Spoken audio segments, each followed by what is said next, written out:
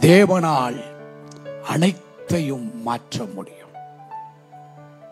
உங்கள் வாழ்க்கையில சத்துருவானவன் உங்களை முடக்குவதற்கு எப்பேற்பட்ட சோதனைகளை பாடுகளை நஷ்டத்தை இழப்புகளை ஆயுதங்களாக தன் கையில் எடுத்துக் கொள்ளுகிறானோ அத்தனையையும் தேவன் தன்னுடைய கையில எடுத்து உங்களை உயர்த்துவதற்கு தேவன் பயன்படுத்துவார்.